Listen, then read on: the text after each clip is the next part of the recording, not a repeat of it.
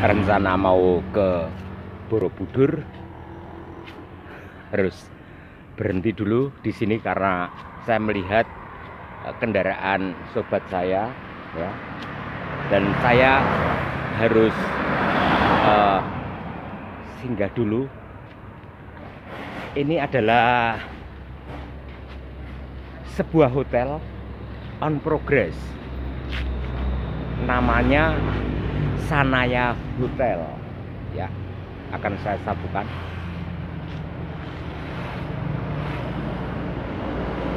Ya. Sanaya Hotel. Lokasinya di uh, desa Wanurejo kecamatan Borobudur. Dan ini sedang dalam proses pekerjaan on progress. Ya. Ya.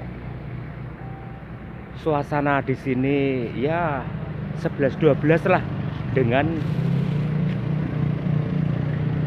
kanaya yang ada di dekat jembatan Silang. Ya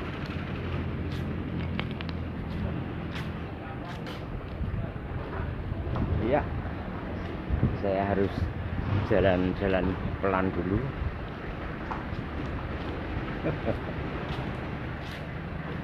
Ya.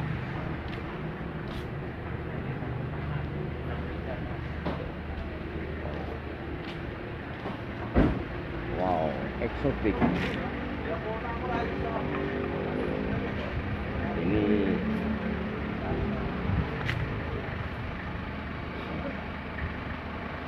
bisa diapresiasi barang apa ini ya. Batuan. Tetapi ini seperti fosil gitu. Seperti fosil. Ya. Sanaya ini lagi dalam proses pembangunan. Wow, so eksotik. Ya, di sini terpasang ukiran khas Kudus. Ukiran Kudus itu eh, lembut-lembut ukirannya. Ya. Jelas ini ukiran gaya Kudus yang membuktikan ukiran gaya Jepara dan Kudus bahwa ukiran-ukiran Kudus lebih lembut, lebih rumit, lebih lebih ya lebih rumit dari ukiran Jepara. Tetapi ukiran Jepara juga indah ya, sama punya punya sama-sama keindahan gaya Kudus dan gaya Jepara. Yang ini gaya ukiran gaya Kudus. Ya. Nah, ini Mbah Gemblung masih ngevlog di Sanaya Hotel. Ya, di sini tampak kolam renang ya, rencananya di sini ada kolam renang, tetapi karena hotel ini masih dalam proses pembangunan ya, uh, on progress. Jadi ini dimanfaatkan untuk memelihara ikan. Ikan nila ya. Oh, tampak di sini ada sejumlah bonsai ya akan saya perlihatkan ya bonsai bonsai ini ya serut ya dan ini uh, teh-tehan kalau nggak salah ya ya wow eksotik ini luar biasa nih akar-akarnya ini kalau saya melihat bonsai ini saya seperti melihat pohon yang ada di Karsidenan Kedu. Itu ya imajinasi Mbah Gemblung tergiring pada tanaman yang ada di eh, sebelah barat utara ya dari depan pendopo Karjenan Kedu. Ini juga bonsai ini. Ya. ini masih ada sejumlah bonsai.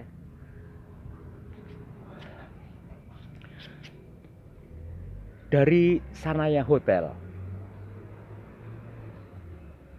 Bukit Menoreh tampak jelas dari sini. Meski sekarang ini Bukit Menoreh berselimut kabut tetapi jelas tampak sosok dari ya Bukit Menoreh bukit yang sangat-sangat legendaris.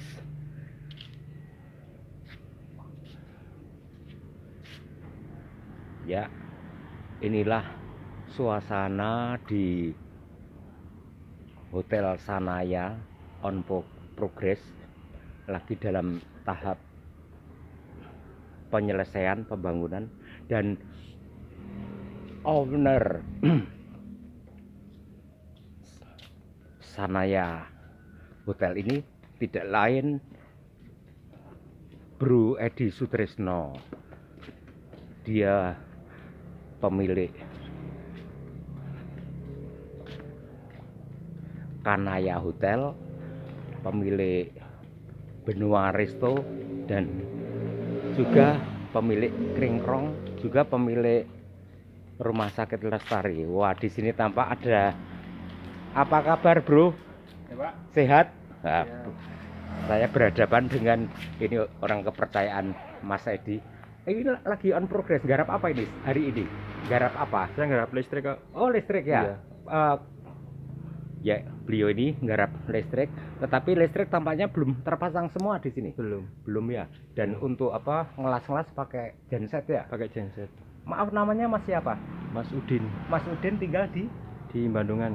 Oh di. Bandungan. Oh ya itu kalau Bandungan ya wilayah saya kalau apa liputan ya pasti lewat Bandungan kalau mau ke apa namanya tempat yang indah itu Nepal, Van Java. Iya. dan apalagi itu ya eh, Hancur. Silancur dan di sana itu daerah apa?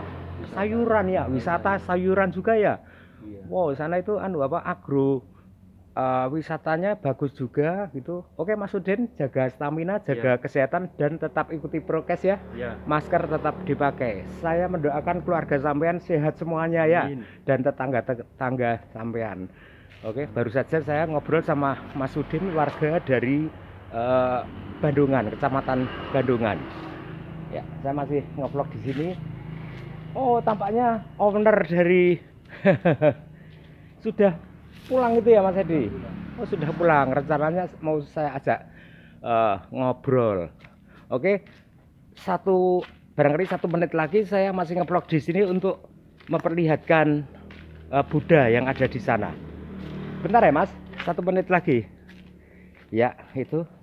Tadi sudah saya ekspos kolam renang yang dimanfaatkan untuk kolam ikan karena eh, hotel ini belum operasi masih dalam tahap eh, pembangunan. Oh tampak ini belum bisa dilewati dan saya harus tapi mungkin bisa juga. Bismillah. Nah.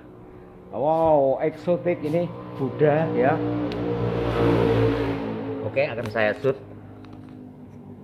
Buddha ini terbuat dari semen. Dan ini tampaknya belum betul cara cara penempatannya. Mungkin karena menurut saya eh, kepala Buddha ini harus ada penyangganya atau ada tataannya. Jadi tidak terletak di lantai begini. Itu saja ngevlog Mbah Gemblung ya dari Sanaya Hotel yang sedang dalam proses pembangunan ya liputan atau vlog suka-suka untuk viewer semua yang masih mengikuti channel Poros Borobudur. Salam prokes dari Mbah Gemblung.